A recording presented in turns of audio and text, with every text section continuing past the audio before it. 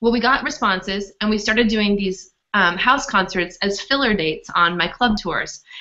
And at the end of the five months, on every single measure, from the enjoyment we were having at the shows, from the, the performance experience, from the names we were getting on the mailing list, to the merch we were selling, to the money we were making, on every measure, the house concerts outperformed the club shows. Okay, so we do all of our house concerts. I should say the vast majority, 95% of our house concerts are done on a, a, a donation basis. We call it an open donation basis, meaning that um, the guests, when they're invited to come to the show, are told that it's going to be a donation based event. Please come prepared to make a donation to the artist at the conclusion of the show.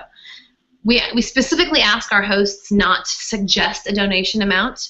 We tell them just to make it an open donation. And there's, there's a couple reasons for that. Number one, if there's somebody on the guest list that maybe just lost their job or they're you know on, in lean times and you know if the invitation said we suggest a $20 donation to come to the show they're not going to show up some people don't have that kind of you know cash to spend on entertainment but the flip side of that is that another reason we don't suggest a donation amount is that if you tell somebody that this show is worth $15 they won't put in 20 if you tell them it's worth 20 they won't put in 50 and i'm telling you this because the very first house concert that we did, that one in San Diego I told you about, it, we did not have a suggested donation. It was just open. At the end of the night, there was a hundred dollar bill in that vase. Starting, you know, a good house concert starts with preparation. So before you even are on your way to the house, you know, you um, it, it's a, it's incumbent upon on me to prepare my host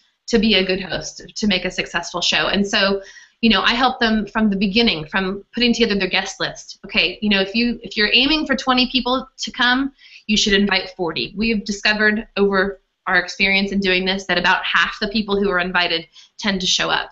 So invite double the number of people that you would, would like to see at the actual concert. Secondly, in the invitations, we ask the hosts to always ask for an RSVP because um, we found that when people are required to say yes i'll be there they're much more likely to actually show up than if it's like oh hey come by you know we're doing this thing we'd love to see you. When people have to say they're going to be there they're more likely to actually show up. And it also puts in their mind this is an event that i've said i'm going to go to it's a special thing it's not just a hangout at my friend's house you know? So we're starting the psychology of the house concert concept right? But with with the invitation. So then leading up to the show we um, we give I give all of our hosts specific invitation language so that they can communicate early um, to all of the guests exactly you know um, like that it's going to be a donation based concert.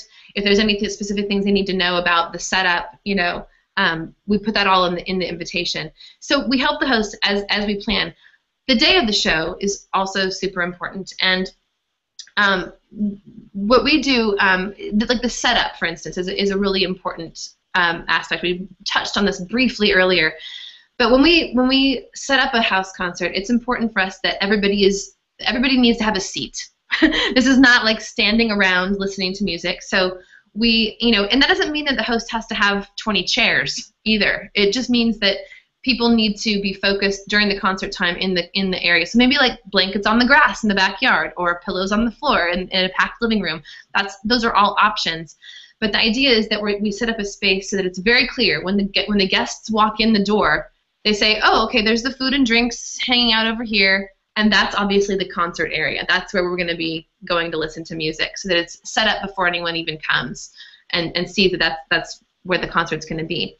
Um, we we leave time in the schedule. We have a very sort of strict schedule that we follow at a house concert that leaves time for the talking, the hanging out, the that kind of thing, and then carves out the time for the concert. So we always show up um, at the host's house an hour before guests are asked to arrive, and that's you know do the sound setup and sound check, set up the merch, have a moment to just get you know get to know the host, chit chat a bit. We also spend that uh, use part of that time to coach them on their donation announcement, which I'll get to in a minute. Um, but that's that's sort of the pre-show prep. The first hour then, so let's say that the concert's going to start at eight. All the guests have been invited to come at seven. So from 7 to 8 is hangout time. And there's, it's really important to have that time for a couple of reasons. Number one, you know, um, it's uh, it's nice for people to be able to come and get comfortable, have a drink, talk with their friends, just kind of like ease into the space a little bit. It's also great for latecomers. So if you're not, you know, if you if you say come at seven, concerts at seven, inevitably 20 minutes later someone's going to be coming stumbling stumbling in and interrupting your concert, right? So it gives it sort of a buffer time for that. Um, and thirdly, it gives you an opportunity to start making connections with people before you even play. So by the time you get up to play, you're not a stranger to the crowd. Right. You're you're the guy who's been sitting there asking people about their job or you know oh hey where did you travel you know on your vacation this summer? You've already gotten to know them. You've started the connection so that by the time you do concert time they already feel like they know you. Hmm. they're on your side right. you know and they're rooting for you. So like you, you've you've gotten a leg up you know because you've had that connection time beforehand. So what we do for the donations is this. As my last note is still ringing in the air at the end of the concert the host comes up and stands next to me and says something like this Thank you, Shannon, so much for this incredible experience. I hope you all enjoyed this as much as I did. Let's show her our generosity. If you remember, this is a donation based concert. I'm going to leave this vessel right here on Shannon's keyboard.